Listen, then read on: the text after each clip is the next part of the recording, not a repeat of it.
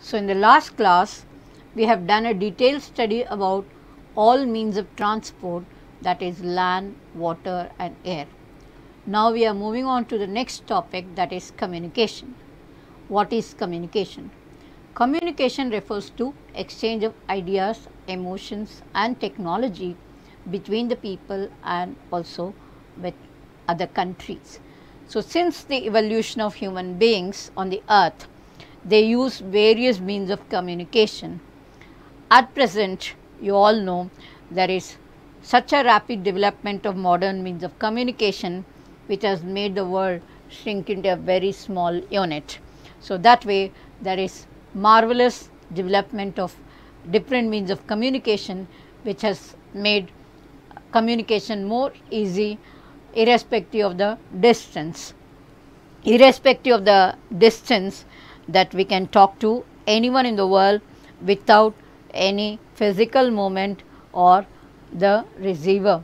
So, that way we can convey our ideas, emotions and also we can also exchange the technology uh, mainly uh, the information technology by which we are able to progress from time and again. Now, coming to the types of communication, we have got two types of communication. One is the personal communication that is between uh, two people and then we have got mass communication with a large number of people. So, in the personal communication we have got mobile phones, we have got uh, letters, then envelopes, cards by which we can talk, uh, communicate with two or more people and when talk about millions of people at the same time we have got the mass communication. So, some of the examples of mass communication they are radio, television, press and films. These are all the uh, ones by which we are able to talk at the same time with millions of people across the world. Now, let us see the important means of communication that we have developed in India. So, first and the foremost is the postal communication. So, you all know the India uh, Indian postal network is the largest in the world which is uh, which has completed 150 years of service. India Post is the emblem which talks about the postal communication. It has completed 150 years of service and it is the largest network in the world. And not only it handles the postcards and so on, it handles the parcels and also the personal written communication in the form of the postcards and envelopes. So, we have got different kinds of uh, services offered by the postal communication. First, we have the first class mail which include the cards and envelopes which are airlifted because they are very light which can be transported even by the um, planes from place to place airlifted between the stations. After that it covers the land and air transport covering both land and air. So, that way these cards and envelopes they are called as the first class mail. Then coming to this second one we have the second class mail which includes the books, periodicals and newspapers, registered newspapers which are sent from one country to another country which are carried by surface mail covering the land and water transport because the distance is uh, um, longer and also they are comparatively heavier than the cards and envelopes they cannot be airlifted. So, mainly they are transported to land and water transport right. So, these are the two uh, important services which are provided by the postal communication and other than that very recently the postal communication has introduced 6 mail channels for quick delivery of the mails in major towns and cities. So, they are Rajdhani channel, Metro channel, Green channel, Business channel, bulk mail channel that is in terms of the heavy things like uh, we may have the uh, invitation cards or some kind of uh, bulk material um, learning materials study materials which are transported which are heavy in nature. So, these are all in uh, sent in bulk that means in large numbers. Okay. and then business channel is mainly for the business um, uh, magazines and so on. Then we have the periodical channel which are having some registered periodicals which are um, weekly, monthly, fortnightly which are there which are sent from one place to another place.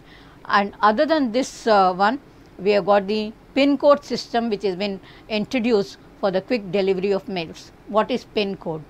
Pin code is a postal index number, right. Pin code is the postal index number. So, once the number is seen, the postman is able to know that this is of Mumbai, this is of Bangalore, this is of Chennai. So, they can easily sort out these uh, mails very quickly which will help in quick delivery of the mails.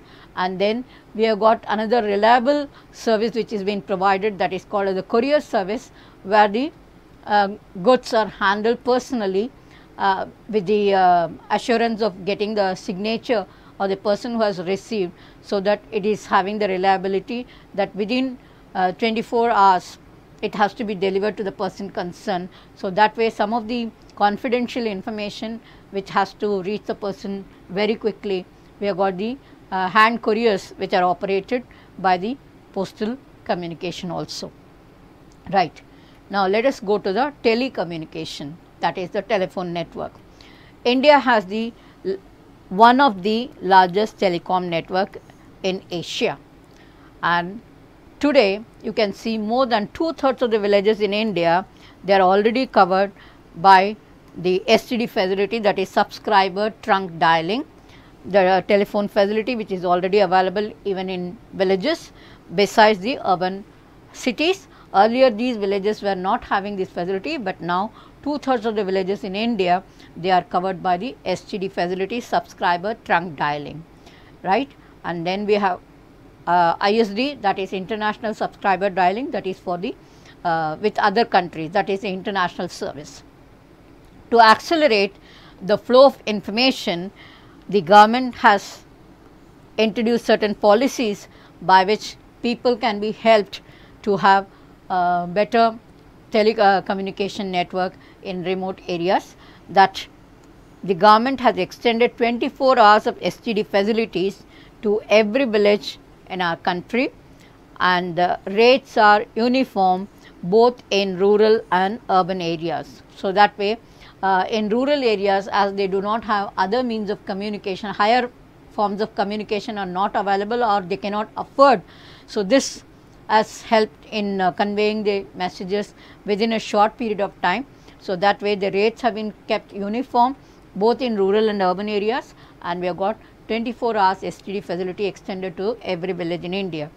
And this has been made possible by the integration and development of the space technology with that of the communication technology. We are able to extend this facility to almost every village in our country. So, by which people are able to communicate uh, very easily. Now, let us move on to the mass communication. So, the word mass itself tells you it talks about large number. So, it is the communication with a large number of people at the same time. Like you can all uh, see the radio uh, network where one person is reading the news which is being heard by the people across the world. So, you can know what is the latest happening in every part of the world within a short period of time. So, you can see the um, cricket match played in other countries and you can see various kinds of um, program that has been there uh, in other parts of the world sitting at home in a relaxed manner. So, that way mass communication refers to the communication with a large number of people at the same time. So, again in the mass communication we have got two types that is electronic media and uh, print media. So, we have the examples of electronic media as radio, television, computers, films, internet, all these are the uh, examples of electronic media. And in the print media we have the books, magazines and newspapers, they are the uh, print media, examples of print media, right.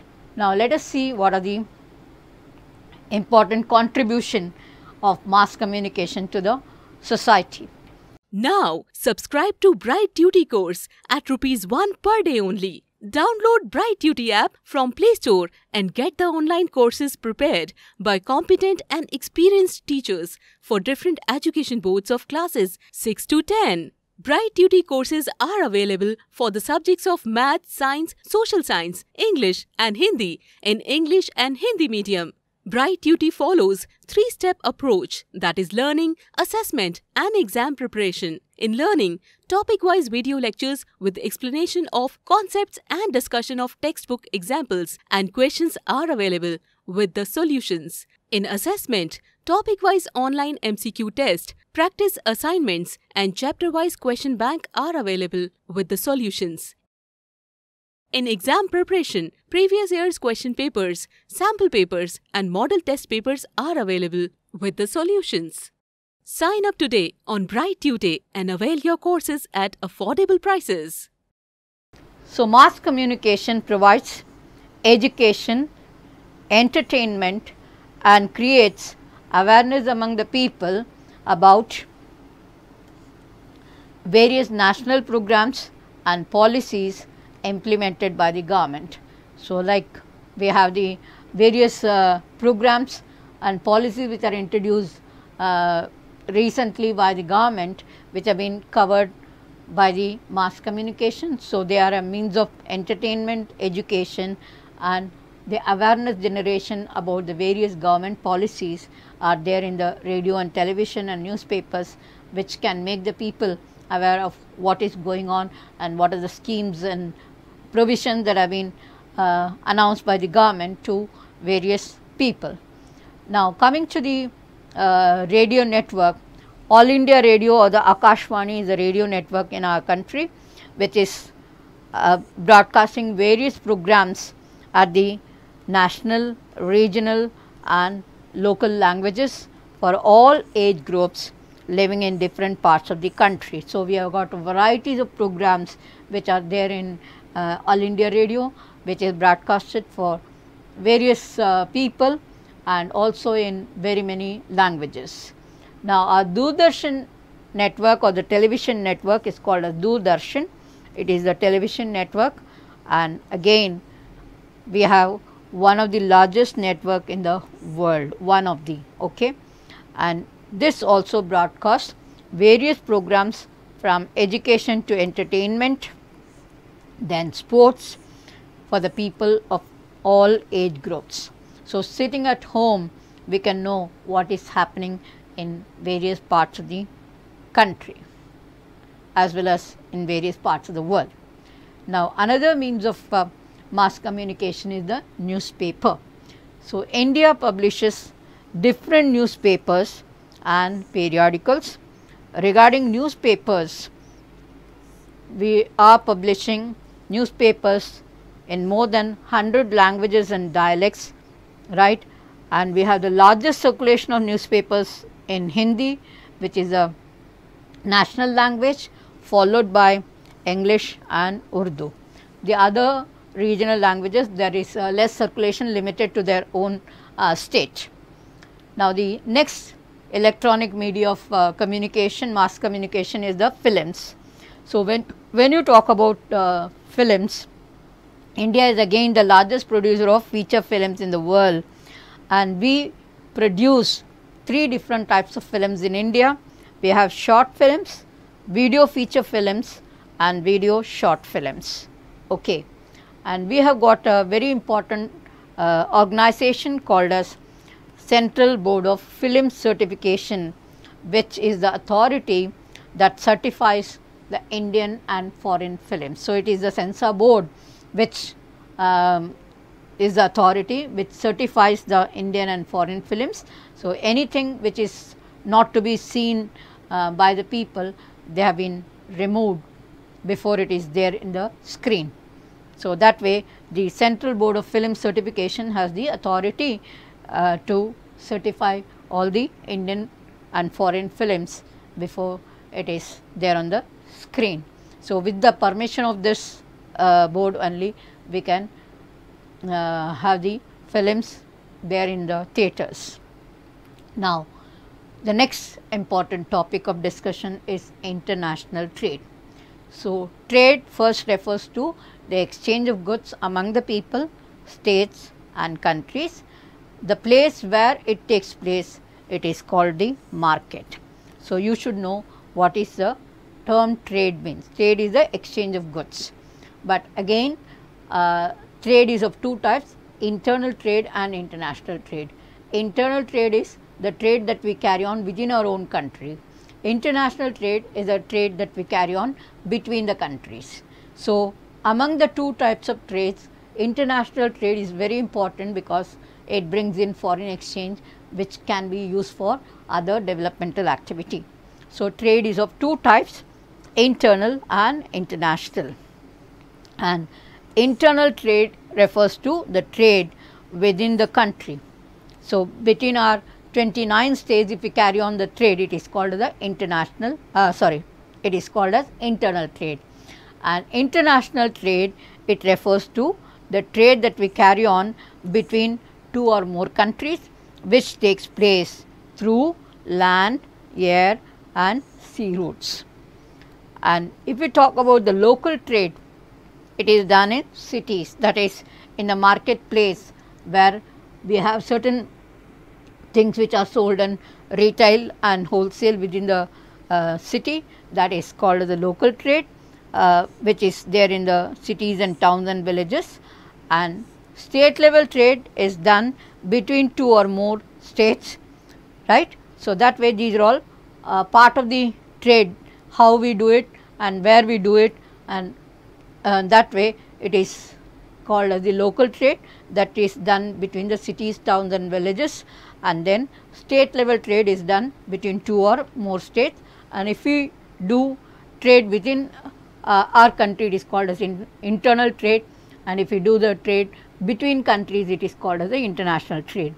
So, out of the various types of trade international trade is of great significance to our uh, to any country in the world because it brings value addition to the economy.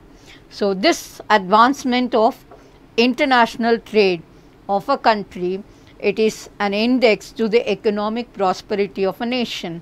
Suppose if we talk about developed country or developing country or underdeveloped country, it is been justified from the uh, volume of international trade that a country carries on. So, that way uh, it is considered to be an index to determine whether a country is developed or developing or underdeveloped. And advancement of the international trade, it is been used to know whether a country's uh, economic prosperity of the country is been identified from the advancement of international trade.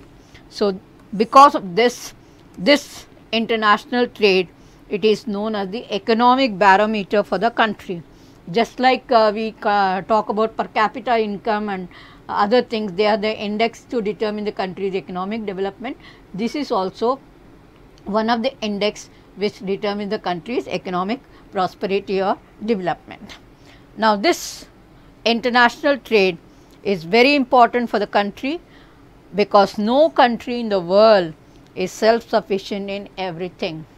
So, naturally we need to exchange whatever we are having in surplus, we need to exchange it with other countries, whatever we are deficient, we have to get it from other countries. So, that way every country has to carry on the trade between the countries which is the international trade.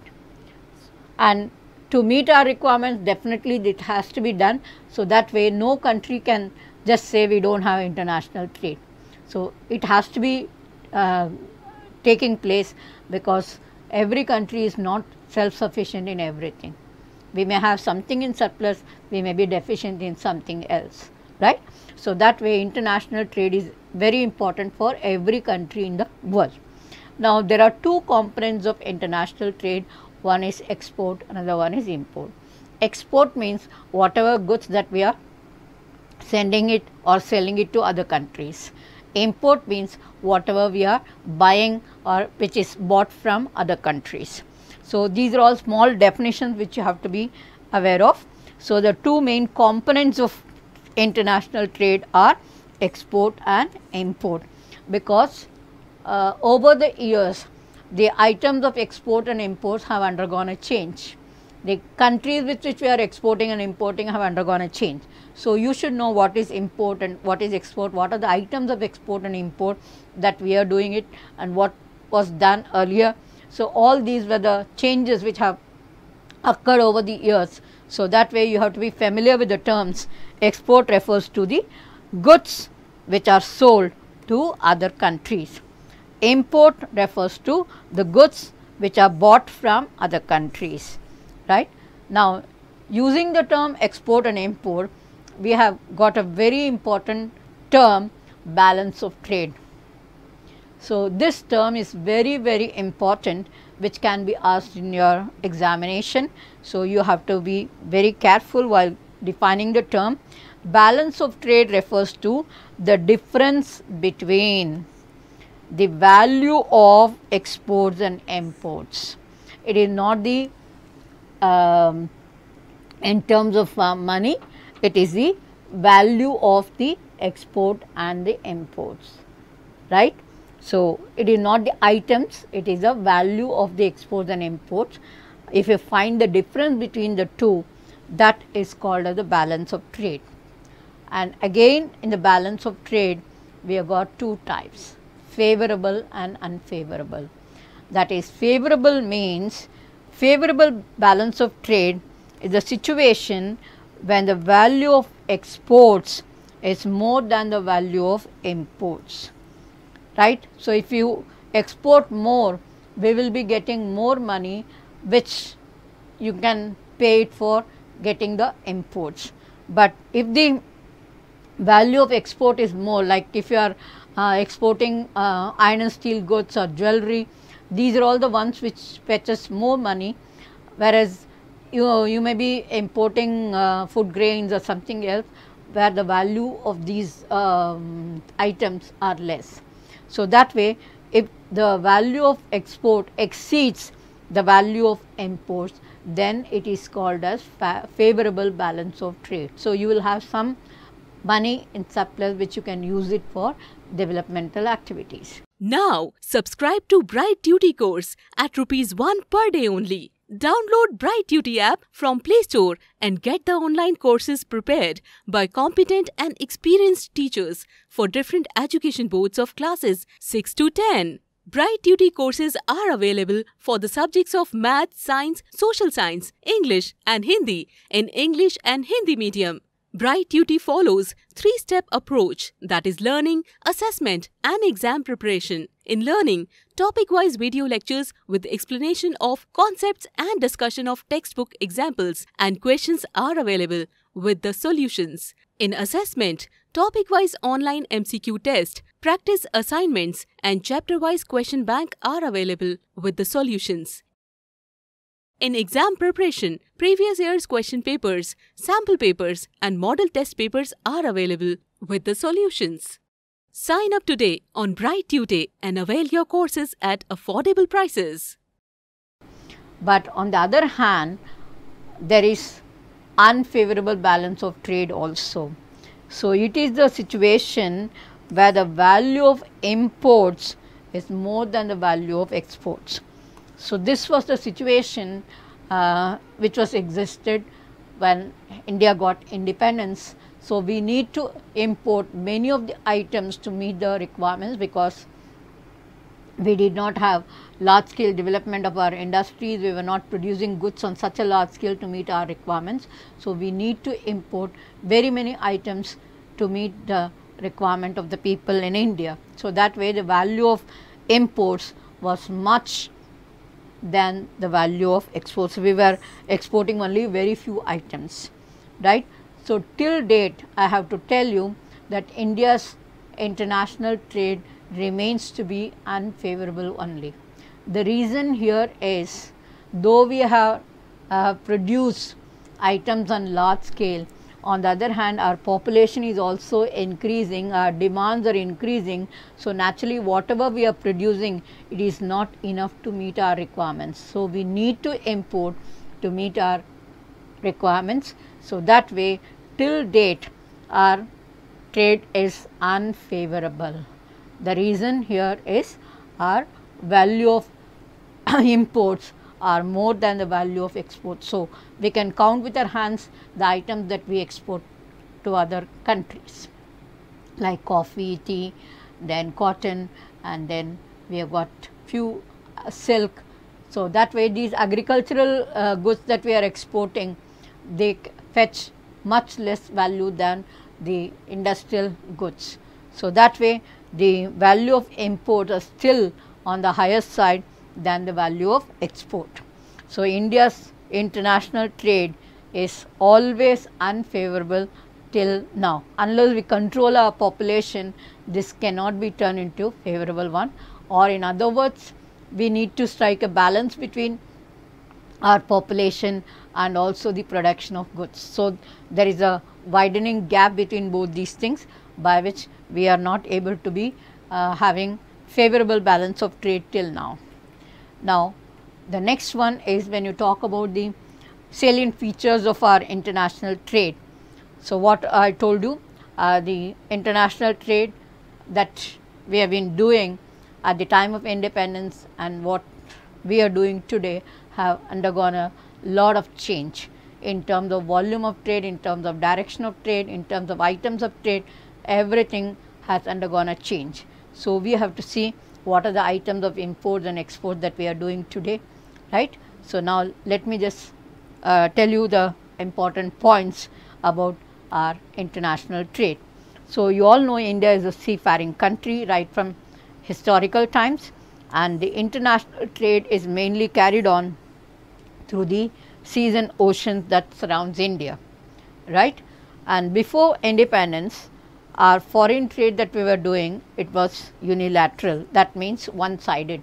So, our raw materials were sent to Britain and from there the manufactured goods were coming to India. So, that way it was just one way uh, relations, uh, trade relations that we have between India and UK.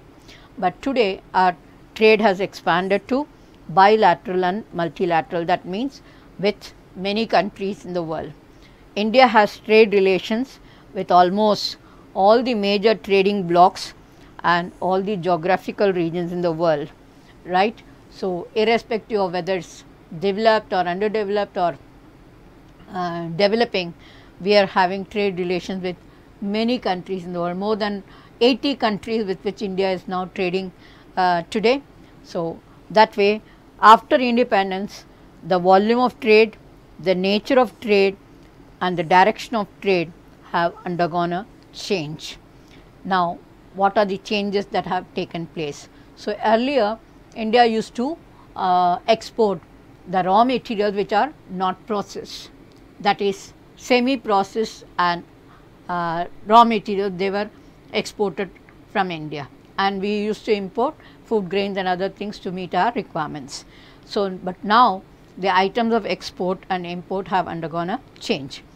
Now, coming to the items of export, the share of agriculture and allied products it is about 9.9 percent, ores and minerals it is 4 percent. And gems and jewelry it is 14.7 percent.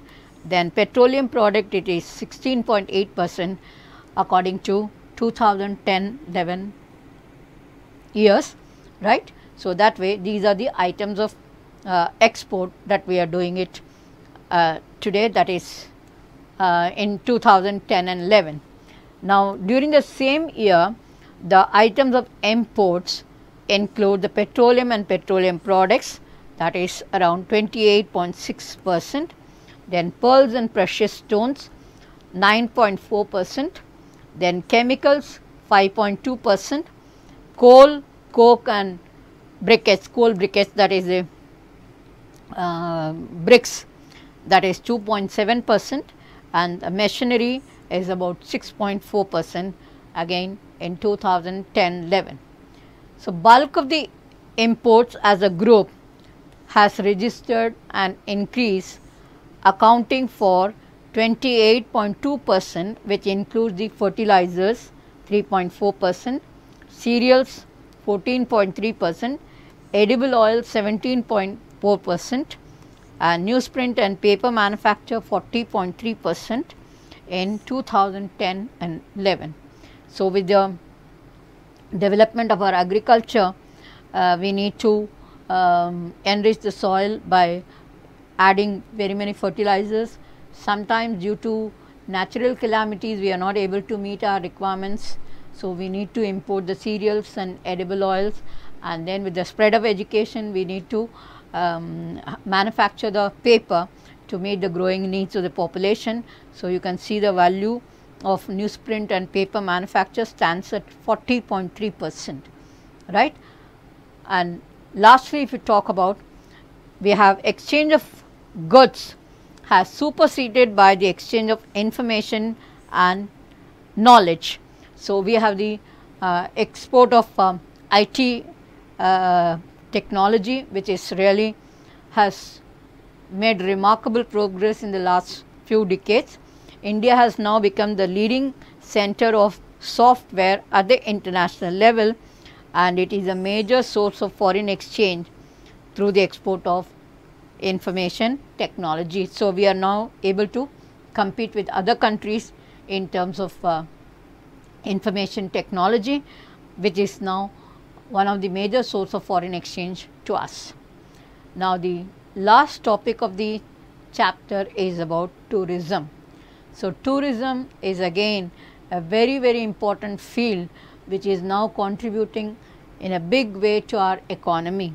So, India has got lot of uh, tourist places, historical monuments and uh, scenic beauty that is sightseeing sites and heritage, the rich cultural heritage by which tourism has now become a major source of foreign exchange to India. So, you can see the picture where you have got the adventure tourism and then we have got ecotourism. These are all the different types of tourism which has been developed in recent years.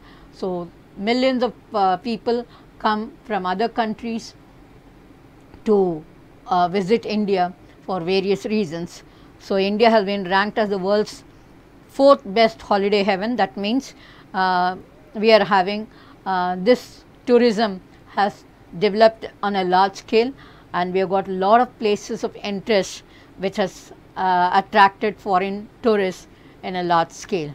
Now, coming to the salient features of our tourism, India has made tremendous progress in tourism in the last 3 decades that is 30 years due to increasing number of tourists who are visiting India has really shown an increase of 11.8 percent during the year 2010 as against 2009. So, year after year the number of tourists who are coming to India are on the increasing side and because of the um, visit of the tourists we are also able to earn valuable foreign exchange. So, tourism has contributed to about 64,888 crores of rupees as foreign exchange in 2010 right and the no number of tourists who have visited in 2010 was about 5.78 million.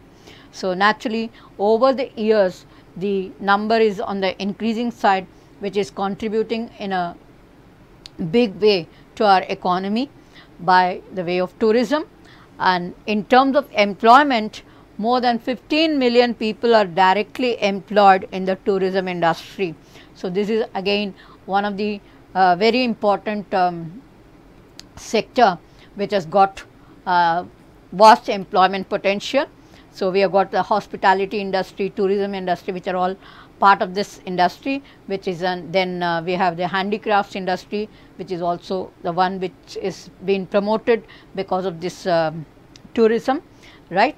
So, this tourism has promoted national integration that is within our own country and supported local handicrafts and also the cultural heritage of our country has reached far and wide and it has also promoted international understanding right because people from India are going to other countries and other people from other countries are coming to India.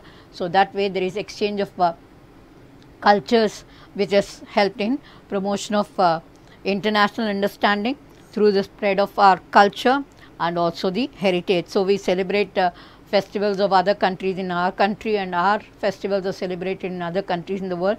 So, that way it has contributed on a large scale to the international understanding. And today we have got different types of tourism developed in India. That is people come to India for different uh, reasons. So, people are coming for taking the treatment for different kinds of uh, ailment. That is the medical tourism, then people come for uh, business, then heritage tourism, adventure tourism and so on. So, that way these are all the different types of tourism that is developed in India which is contributing in a big way to our um, economy.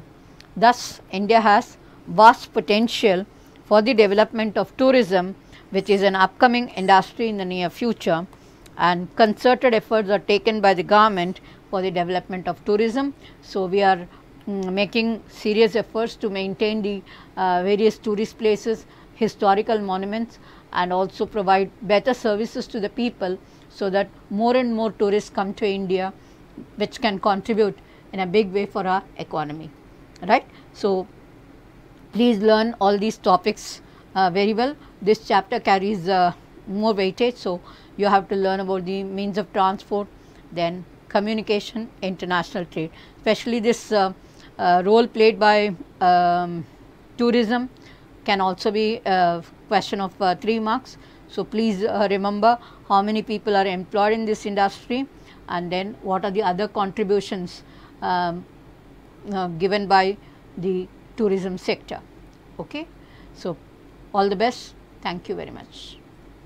Now, subscribe to Bright Tutee course at rupees 1 per day only. Download Bright Tutee app from Play Store and get the online courses prepared by competent and experienced teachers for different education boards of classes 6 to 10. Bright Tutee courses are available for the subjects of Math, Science, Social Science, English and Hindi in English and Hindi medium.